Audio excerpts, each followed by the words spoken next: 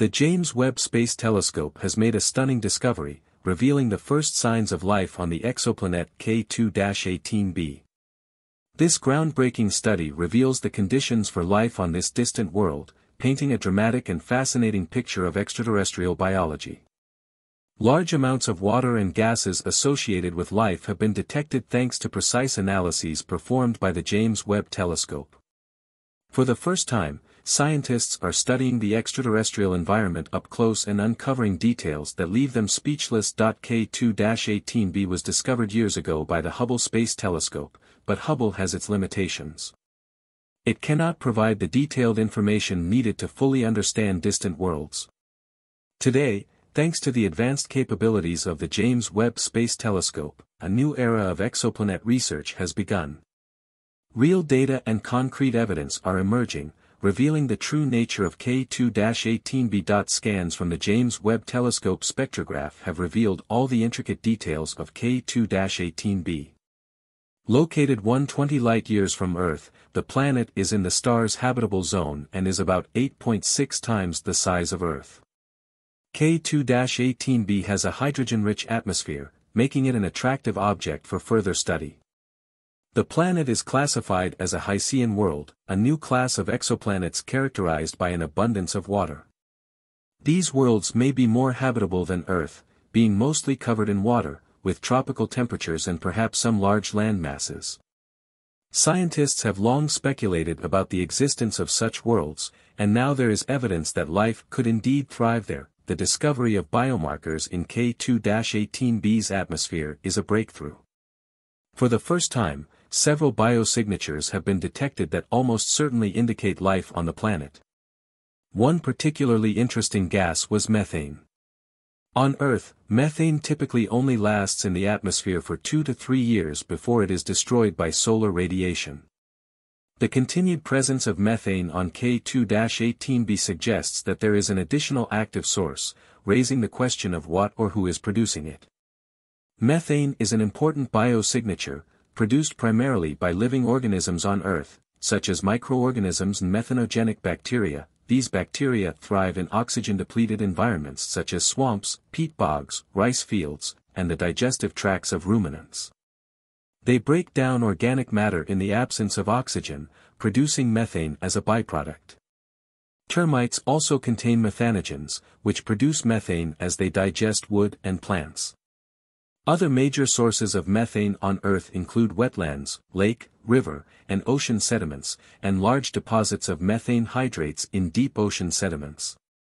Methane, while a life-giving gas, does not necessarily indicate life, as can be seen on Saturn's moon Titan, which contains methane but has no evidence of life. The potential discovery of dimethyl sulfide, DMS, on K2-18b adds another dimension to this intriguing discovery. On Earth, DMS is produced by certain types of algae in the ocean and is considered an important biomarker. Its presence, as well as water and methane, increases the possibility of life. DMS is primarily produced by marine phytoplankton and certain algae, which break down into DMS through a bacterial process.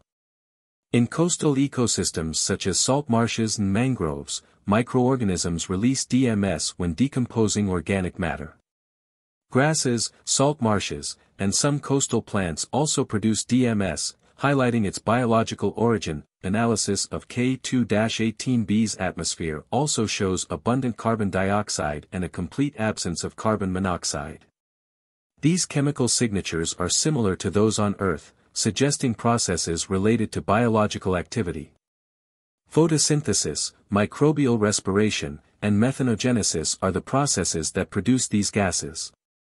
K2-18b's thick hydrogen atmosphere suggests that the water is slightly warmer than on Earth, raising the possibility that conditions are suitable for life. Proving the existence of life on K2-18b would be a major change in our understanding of the universe. Scientists aim to conduct more detailed spectroscopic analyses of the planet's atmosphere and atmosphere using the James Webb Space Telescope and develop technological improvements to accurately detect living organisms. Initial analyses could identify more specific biosignatures and simulate which life forms might match K2-18's gas spectrum. This would require studying the corresponding emissions on Earth and creating suitable profiles for comparison.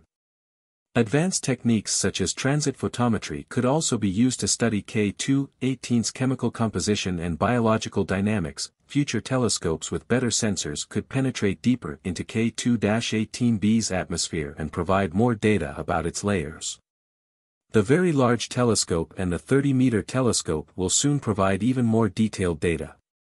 In addition, space probes could be developed to travel to K2-18b, collecting and analyzing samples of its atmosphere and perhaps its surface.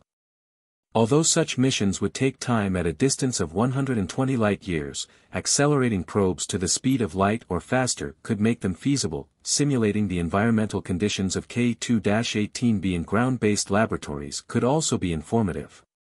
Reconstructing the temperature, pressure and atmospheric composition of K2-18b could reveal whether known terrestrial microorganisms can survive and grow under these conditions. Such experiments could offer interesting clues about what life forms might exist on K2-18b and how they would adapt. The search for life in our solar system will continue to play an important role in the coming decades. Drill-equipped probes will explore icy moons like Enceladus and Europa, drilling through thick layers of ice and launching probes equipped with floating cameras into suspect oceans. The discovery of life on these moons would raise the possibility of life forms existing on many exoplanets. K2-18b is not the only exoplanet to become the center of attention.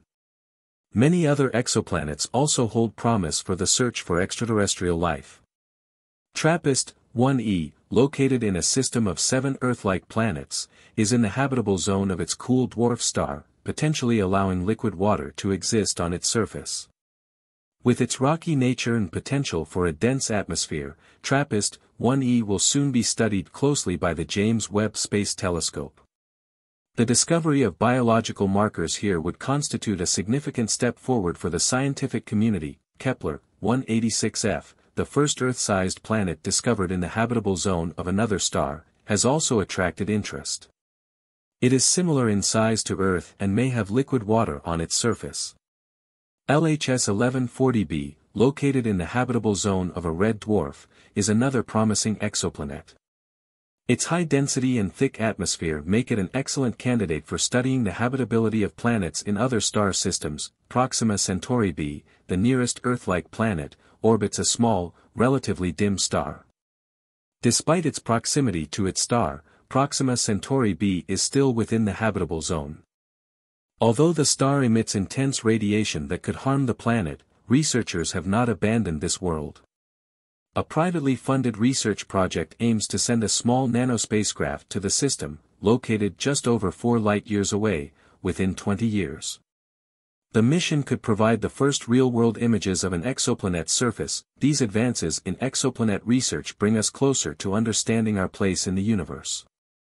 The James Webb Space Telescope and future missions will continue to reveal the secrets of distant worlds, potentially revealing the existence of life beyond Earth. By exploring these new frontiers, we embark on a journey that can redefine our understanding of life and our place in the universe.